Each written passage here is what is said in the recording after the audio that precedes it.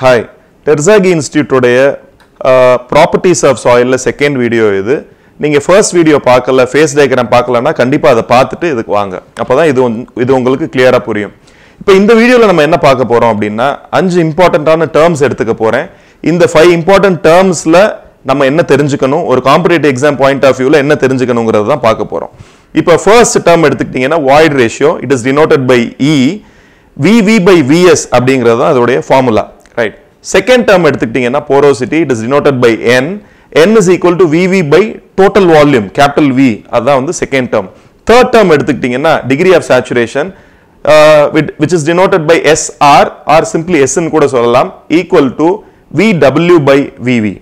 Right and third fourth term எடுத்துக்கிட்டீங்க அப்படின்னா it is air content air content is A suffix C அப்படின்னு சொல்லுவாங்க. Equal to VA divided by VV and finally uh, of air voids அதை வந்து eta A அப்படின்னு நம்ம சொல்லுவோம் which is equal to VA by total volume இதில் இந்த first நீங்கள் பார்க்குற வாய்ட் ரேஷியோ மட்டும் டெசிமல்ல தான் வந்து நம்ம டினோட் பண்ணணும்.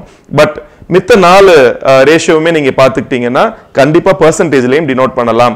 இது எல்லாமே வால்யூம் பேஸ்டாக இருக்கிறதுனால இதை வால்யூமெட்ரிக் ரேஷியோஸ்னு சொல்லுவாங்க.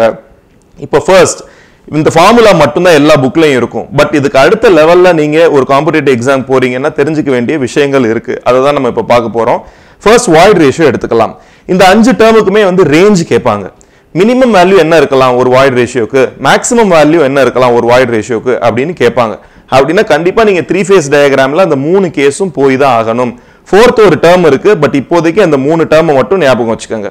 இப்போ வாய்ட் ரேஷியோடைய மினிமம் மேக்ஸிமம் வேல்யூ கேட்குறாங்க வாய்ட் ரேஷியோ விடுங்க. மித்த அஞ்சு இதில் எதை கேட்டிங்கன்னாலும் உங்களுக்கு ஒரே ஒரு ரூல் சொல்லி கொடுக்குறேன். இதை மட்டும் ஞாபகம் வச்சுக்கோங்க.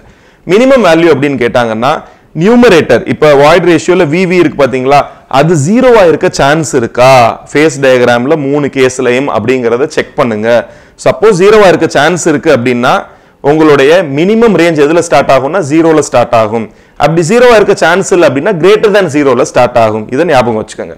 இப்போ இதே இது மேக்ஸிமம் வேல்யூ உங்களுக்கு கேட்குறாங்க ரேஞ்சில் அப்படின்னா ரெண்டு விஷயம் ஞாபகம் வச்சுக்கணும். ஃபர்ஸ்ட் திங் இஸ் நியூமரேட்டரும் டினாமினேட்டரும் ஈக்குவலாக இருக்கா அப்படின்னு பார்க்கணும். நியூமரேட்டர் டினாமினேட்டரோட கிரேட்டராக இருக்க சான்ஸ் இருக்கா அப்படிங்கிறதையும் செக் பண்ணணும். இவ்வளோதான் இதை நீங்கள் பண்ணீங்கன்னா இந்த அஞ்சு டேர்முக்கும் நீங்களே கண்டுபிடிச்சிடலாம். இப்போ ஃபார் எக்ஸாம்பிள் வாய்ட் ரேஷியோடைய மேக்ஸிமம் பார்க்கலாம்.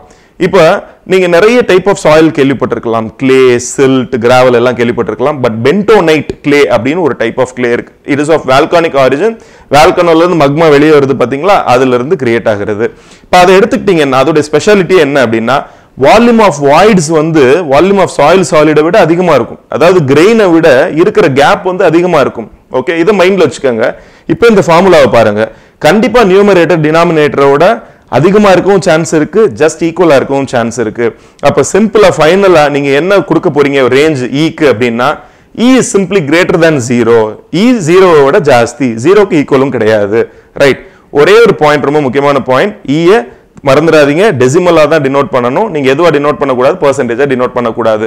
அடுத்து உங்களுக்கு ஒரு எக்ஸாம்பிள் கொடுக்குறேன். டிகிரி ஆஃப் சேச்சுரேஷன் எடுத்துக்கோங்க. அதில் numerator V W denominator V V right கொஞ்சம் த்ரீ ஃபேஸ் டயக்ராம யோசிச்சு பார்த்தீங்க அப்படின்னா வி டபிள்யூ ஜீரோவா இருக்க சான்ஸ் இருக்கான்னு பாருங்கள் மினிமம் வேல்யூக்கு கண்டிப்பாக சம்மர் சீசனில் ஃபுல்லி ட்ரைடு கண்டிஷன் எடுத்துக்கிட்டிங்கன்னா வாட்டர் இங்கே இருக்க போறது இல்ல வி டபிள்யூ ஜீரோவா இருக்கும். அப்போ டிகிரி ஆஃப் சேச்சுரேஷன் எஸ்ஆர் ஜீரோவாக இருக்கவும் சான்ஸ் இருக்குது லோவர் லிமிட் முடிஞ்சிருச்சு. இப்போ அப்பர் லிமிட் பாருங்கள் அப்பர் லிமிட்டில் என்ன பார்ப்பீங்க நியூமரேட்டர் டினாமினேட்டர் ஈக்குவலாக இருக்கா அப்படின்னு பார்ப்போம் அப்படி இல்லைன்னா நியூமரேட்டர் டினாமினேட்டரோட அதிகமாக இருக்கா? இந்த ரெண்டையுமே பார்க்கணும். இப்போ கொஞ்சம் நீங்கள் திருப்பி த்ரீ ஃபேஸ் டயக்ராம் யோசிச்சு பார்த்தீங்க அப்படின்னா volume of water okay water வாய்டுக்குள்ள மட்டும்தான் இருக்க முடியும். அப்ப மேக்ஸிமம் ரேஞ்ச் நீங்க எடுத்துக்கிட்டீங்கன்னாலும் VV equal to V W அப்படின்னு ஃபுல்லி சேச்சுரேட்டட் கேஸில் மட்டும்தான் வரும். அதுக்கு மேலே போக சான்ஸே இல்லை. அப்போ டிகிரி ஆஃப் சேச்சுரேஷன் எஸ்ஆருக்கு நீங்கள் ஒரு ரேஞ்ச் பார்க்குறீங்க அப்படின்னா ஜீரோ அப்படிங்கிறது மினிமம் வேல்யூ ஜீரோவா இருக்கவும் சான்ஸ் இருக்கு. அண்ட் எக்ஸாக்ட்லி ஒன் ரெண்டும் வந்து ஈக்குவலா இருந்து ஒன் பர்சன்டேஜ்ல சொல்லலாம் ஹண்ட்ரட் பர்சன்டேஜாவும் இருக்க சான்ஸ் இருக்கு. அதுக்கு மேல போக சான்ஸ் இல்ல. அப்ப zero SR is greater than or equal to zero and less than or equal to hundred பர்சன்டேஜ்ல நீங்க முடிச்சுக்கலாம். இப்ப மித்த இருக்கிற மூணு டேர்ம்ஸுக்குமே நீங்க இந்த ஃபார்முலாவை வச்சு நான் சொன்ன ஹிண்ட்டை வச்சு ட்ரை பண்ணுங்க. உங்களுடைய ஆன்சர்ஸை வந்து கமெண்ட்ல லீவ் பண்ணுங்க. கரெக்ட் ஆன்சரை நானும் உங்களுக்கு போடுவேன். Right thank you so much and next video நம்ம என்ன பார்க்க போகிறோம் அப்படின்னா காம்பாக்ஷன் கன்சாலிடேஷன் அப்படின்னு ரெண்டு டேர்ம் இருக்கு. ஜென்ரலாகவே நம்ம எல்லாருமே அது ரெண்டையும் போட்டு குழப்பிப்போம். அப்படின்னா என்னங்கிறது ஒரு கிளியர் கட்டான வீடியோவை தான் நீங்கள் நெக்ஸ்ட் ப்ரெசன்டேஷனில் பார்க்க போறீங்க. Thank you so much